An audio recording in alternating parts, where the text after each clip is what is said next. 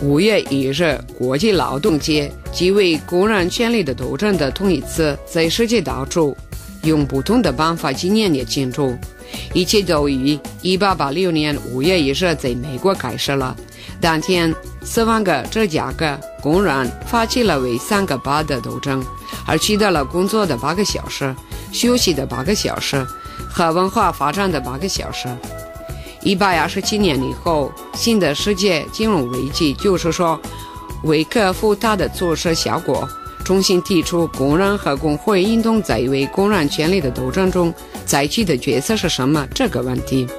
萨瑞亚的情况就相同，我国的政治、社会、经济、工业情况，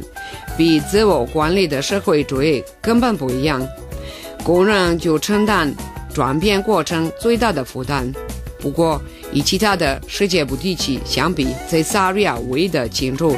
在很多的地方就不一样。因为到现在，世界为止都保留了为进城所有的传统。它不但是劳动节的庆祝活动，而且还是家庭和朋友在萨瑞亚各地著名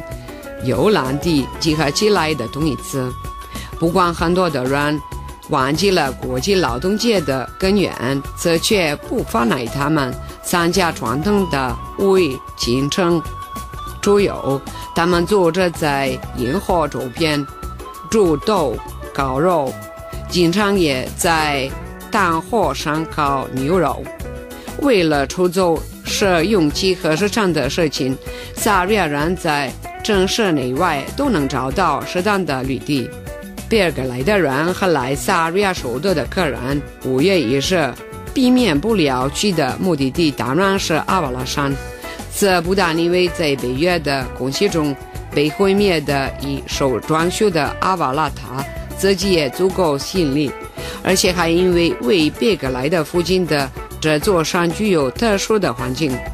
为了按传统庆祝五一的清晨出游。别格来的人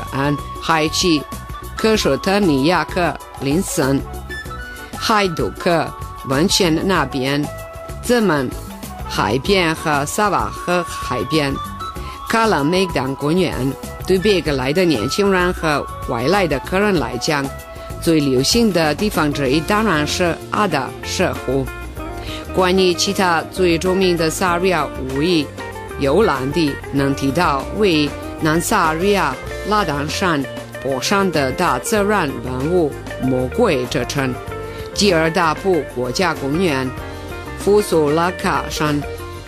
金松山。由于今年五月一日劳动节后马上就庆祝复活节，萨瑞亚人和来自国外的客人一定将使用去参观很多萨瑞亚修道院和其他宗教名胜古迹的机会。